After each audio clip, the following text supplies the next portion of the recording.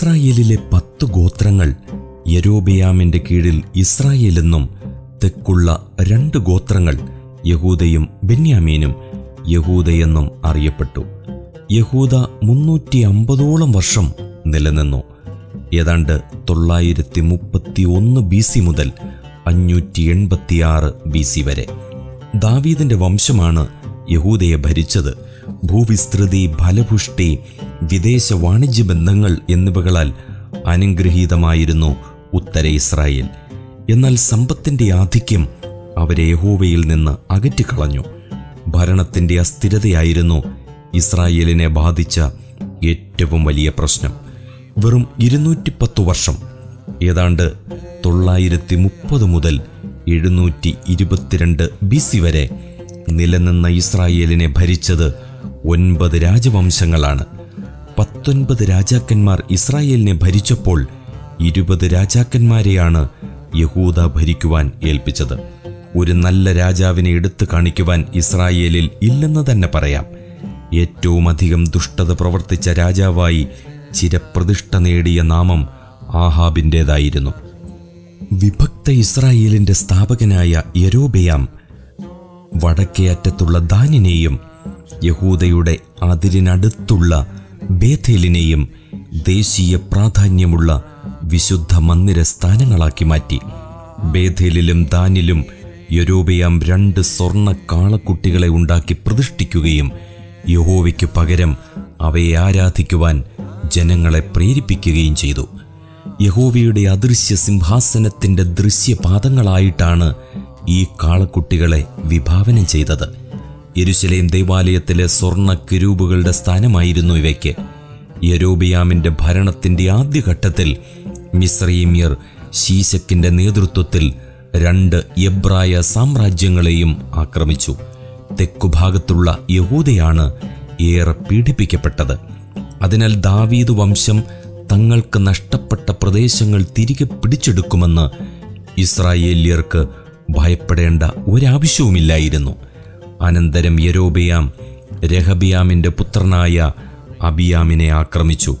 യഹൂദ്യർ തങ്ങളുടെ പിതാക്കന്മാരുടെ ദൈവമായ യഹോവയിൽ ആശ്രയിച്ചതുകൊണ്ട് ജയം പ്രാപിച്ചു. രണ്ട് ദിനവൃത്താന്തം പതിമൂന്ന് പതിനെട്ട്.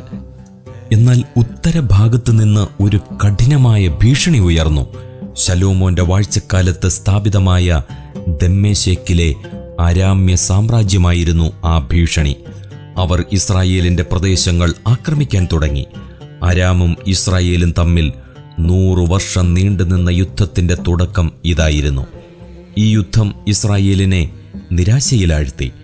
രാജവംശത്തിലുണ്ടായ മാറ്റങ്ങളും മറ്റു വിപ്ലവങ്ങളും ഇസ്രായേലിയരുടെ സുരക്ഷ വിഷമത്തിലാക്കി. ഏതാണ്ട് ബി സി എണ്ണൂറ്റി എൺപതിൽ ഒമ്രിയും എണ്ണൂറ്റി നാൽപ്പത്തിയൊന്ന് ബി സിയിൽ യേഹൂവും സ്ഥാപിച്ച രണ്ട് വംശങ്ങൾ മാത്രമാണ് രണ്ട് തലമുറയിലധികം നിലനിന്നത്. യരോബിയാമിന്റെ മകൻ അധികാരമേറ്റെടുത്ത വർഷം അദ്ദേഹത്തിന്റെ പട്ടാള മേധാവിയായ ബയസെ നാദാബിനെ വധിച്ചു. ബയസെ ഇരുപത് വർഷം രാജ്യം ഭരിച്ചു.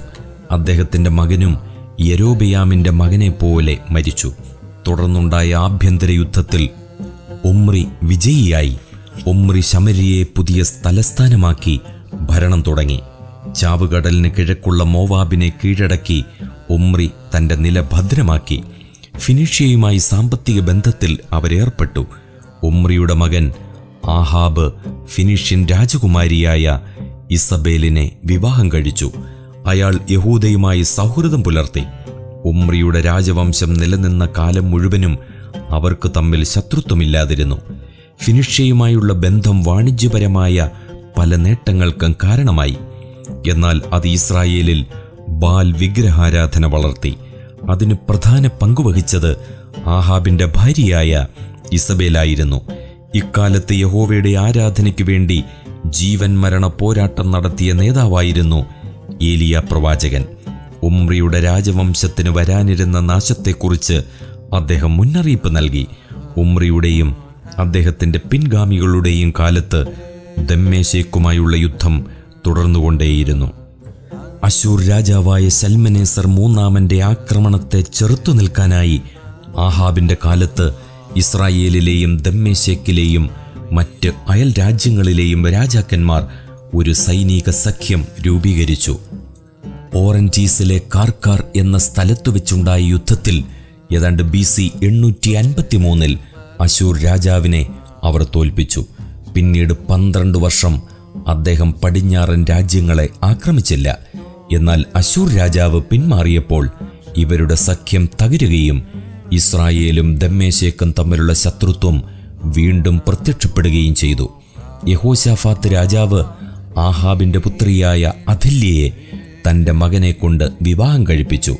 ഇത് യഹോവയ്ക്ക് പ്രസാദമായിരുന്നില്ല. ഒന്ന് ദിനവൃത്താന്തം പത്തൊമ്പത് രണ്ട്. രാമോത്ത് ഗിലയാദിൽ വെച്ച് ആഹാബിന്റെ പക്ഷം ചേർന്നുള്ള യുദ്ധത്തിൽ യഹോശാഭാത്ത് മരിക്കേണ്ടിയിരുന്നു.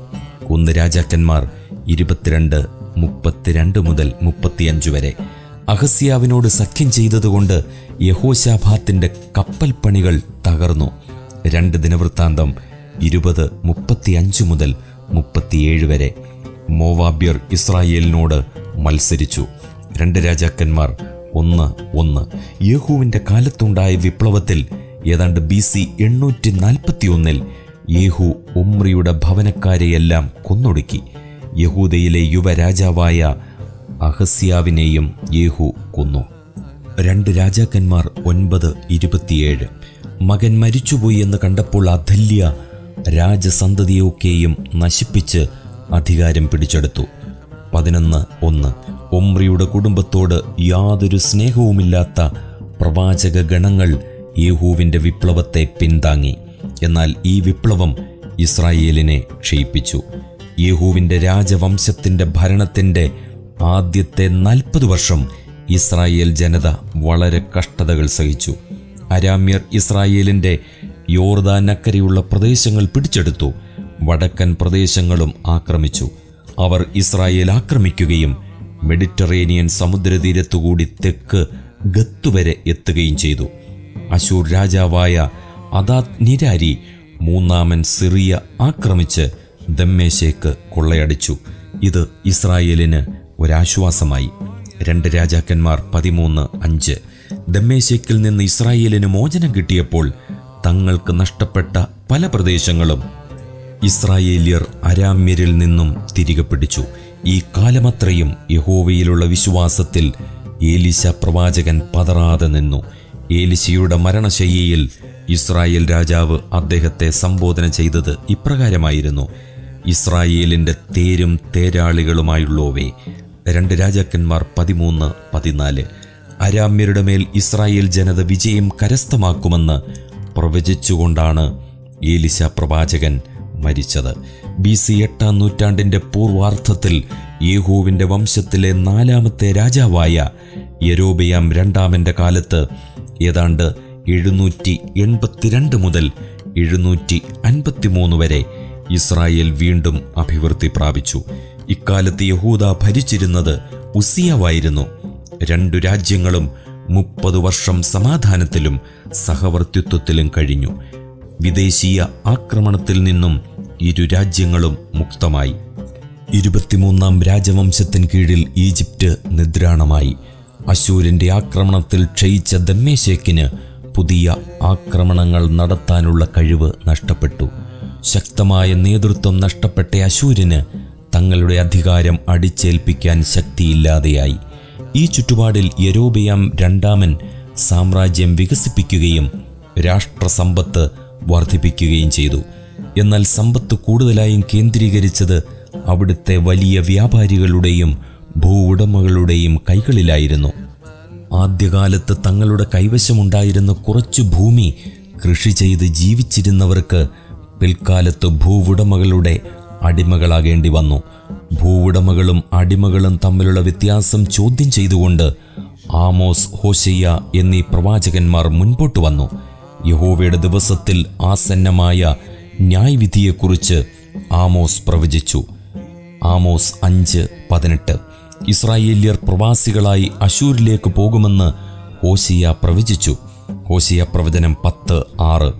എന്നാൽ ഭാവിയിൽ അവർ തിരിഞ്ഞ് യഹോവയെയും തങ്ങളുടെ രാജാവായ ദാവീദിനെയും അന്വേഷിക്കും.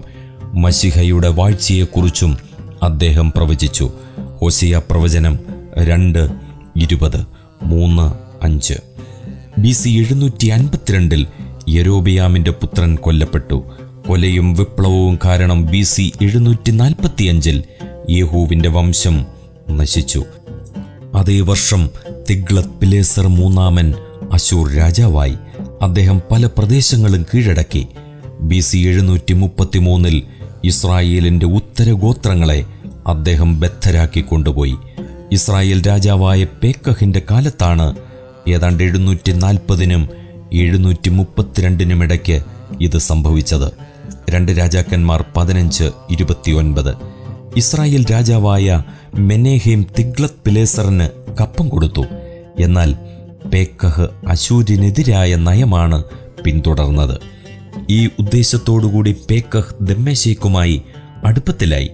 തിഗ്ലത് പിലേസർ ദമ്മേശേക്ക് കീഴടക്കുകയും അവിടുത്തെ രാജവാഴ്ചയെ ഉന്മൂലനം ചെയ്യുകയും അവരുടെ ദേശം അശൂർ സാമ്രാജ്യത്തിന്റെ പ്രവിശ്യയാക്കി മാറ്റുകയും ചെയ്തു.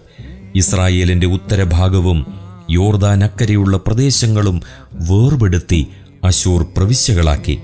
അവിടെ ഉണ്ടായിരുന്ന ഭൂരിഭാഗം ജനത്തെയും അവിടെ നിന്ന് മാറ്റുകയും അശൂരിൽ നിന്നും ജനത്തെ കൊണ്ടുവന്ന് ഈ പ്രദേശങ്ങളിൽ പാർപ്പിക്കുകയും ചെയ്തു. ഇസ്രായേലിലെ ഒടുവിലത്തെ രാജാവായ ഹോശയ മിശ്രയിമി പ്രേരണയ്ക്ക് വിധേയപ്പെട്ട് കപ്പം നിർത്തലാക്കി. അശൂർ രാജാവ് അയാളെ തടവിലാക്കി. മൂന്ന് വർഷത്തെ നിരോധനത്തിനു ശേഷം ബി സി എഴുന്നൂറ്റി ഇരുപത്തിരണ്ടിൽ ശമരിയ അശൂരിന് കീഴടങ്ങി. ശമരിയ ഒരു അശൂർ പ്രവിശ്യയുടെ തലസ്ഥാനമായി. അശൂർ രാജാവായ സർഗോൻ രണ്ടാമൻ ഇരുപത്തിയേഴായിരത്തി ഇരുന്നൂറ്റി തൊണ്ണൂറ് പേരെ ബദ്ധരാക്കി അശൂരിലേക്ക് കൊണ്ടുപോയി. ഹലഹിലും ഗോസാൻ നദീതീരത്തിന്റെ ഹാബോരിലും മേദ്യരുടെ പട്ടണങ്ങളിലും പാർപ്പിച്ചു. രണ്ട് രാജാക്കന്മാർ പതിനേഴ് മൂന്ന് മുതൽ ഏഴ് വരെ. യഹോവ ഇസ്രയേൽ മക്കളുടെ മുമ്പിൽ നിന്ന് നീക്കിക്കളഞ്ഞിരുന്ന ജാതികളുടെ ചട്ടങ്ങളെയും അവയെ നടപ്പാക്കി ഇസ്രയേൽ രാജാക്കന്മാരുടെ ചട്ടങ്ങളെയും അനുസരിച്ച് നടക്കുകയും ചെയ്തതുകൊണ്ട് ഇങ്ങനെ സംഭവിച്ചു. യഹോവ ഇസ്രായേലിനോട് ഏറ്റവും കോപിച്ച് അവരെ തന്റെ സന്നിധിയിൽ നിന്ന് നീക്കിക്കളഞ്ഞു.